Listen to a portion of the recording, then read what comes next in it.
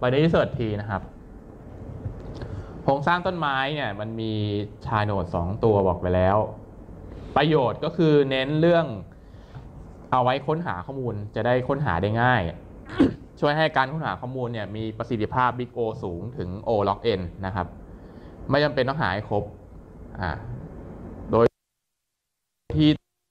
จะอยู่ทางซ้ายส่วนตัวเลขที่มีค่ามากกว่าเนี่ยจะอยู่ทางขวานะครับ อะเช่นแบบนี้ อันนี้เป็นต้นไม้แบบ simple มีแค่ 4โหนดนะครับ มีแค่ 4โหนด ก็รูทเป็น 12 นะครับ แล้วก็มีเลฟโหนดก็เป็นตัวเลข 5 จะสังเกตว่า 5 เนี่ยก็น้อยกว่า 12 ส่วน 99 ก็มากกว่า 12 นะครับ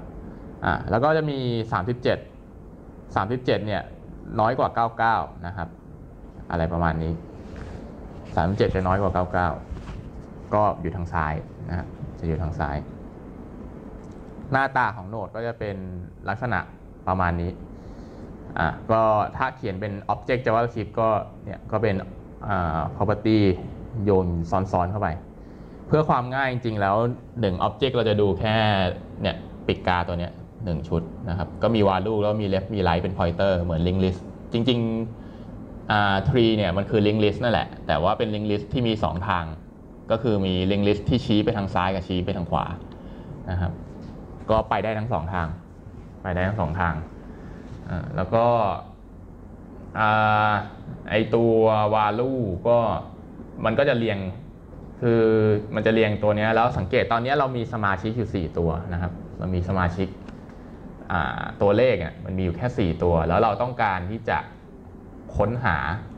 ข้อมูล ถ้าเราค้นหาข้อมูลจะสังเกตว่าเนี่ย เออเดี๋ยวผมขอแก้เลขนิดหนึ่งเพื่อให้มันสะท้อนความเป็นจริงหน่อยเอ่อ99เยอะไป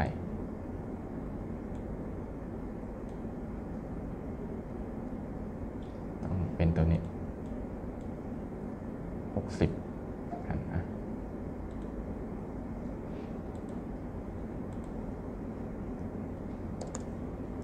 อะโอเค เป็นตัวนี้ ถ้าเป็นลักษณะเนี้ยเราจะเห็นว่าคือมีสมาชิกอยู่ 4 ตัว ถ้าเราอยากจะหาว่า 60 มันอยู่ที่ไหน โดยที่จุดเริ่มต้นเราอยู่ที่ 12 ใช่ไหมมาถึงเราก็อะ 12 แล้วก็เจอทางแยกจะไปซ้ายไปขวา แต่เราก็เช็คก่อนแล้วว่าค่าที่เราต้องการจะหาสมมุติเราอยากหา 60 ค่าที่ต้องกาหาเนี่ย60มันมากกว่า12 60มันมากกว่า12มันก็จะชี้ pointer มาที่ทางขวานะครับ dot มาที่ทางขวาใช้ right เอา แล้วก็ pointer linked list ก็ชี้มาที่ 99 แล้ว 99 เนี่ย เทียบกับ 60 แล้ว 60 มันน้อยกว่านะครับ60 ก็เลยอยู่อยู่มาทางซ้ายอยู่ 99 ก็จะมี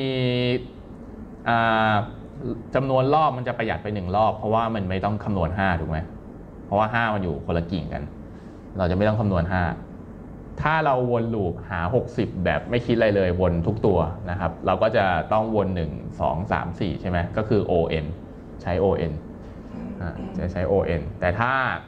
เป็นต้นไม้ที่เป็น binary search tree เนี่ยจริง ๆ แล้วมันจะใช้แค่ o log n ประมาณว่าเนี่ยสูงสุดแล้วเนี่ยมันก็จะมีกิ่งตัวเนี้ยย่อย ๆ ไปอีกนะครับ